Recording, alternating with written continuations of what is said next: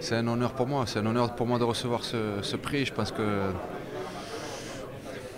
je pense que c'était pas prévu enfin, dans ma tête un jour gagner, pouvoir gagner ce, trophée-là. Maintenant, je l'ai. Je pense que c'est euh, beaucoup, de, beaucoup de travail, c'est beaucoup de. C'est beaucoup de. De travail, on va dire.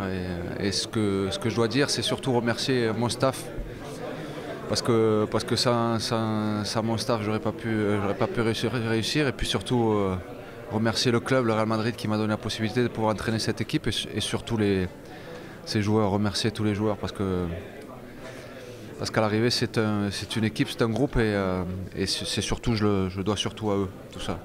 vous avez tout gagné comme joueur, comme entraîneur. Et quel, est le, quel est le secret de la victoire? Non, je sais pas. Je pense que c'est beaucoup de, travail. Je pense que c'est, beaucoup de passion aussi parce que parce qu'on aime ça. Je crois que ça nous procure des émotions incroyables. Je pense que les supporters euh, euh, aiment, aussi ce sport et euh, pour ça, parce que ça procure des, émotions incroyables. Et, moi, j'ai été joueur.